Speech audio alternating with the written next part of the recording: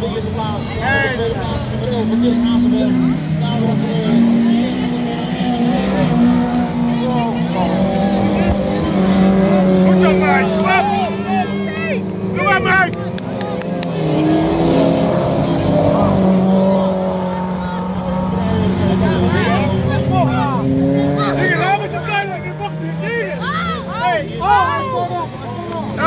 stone!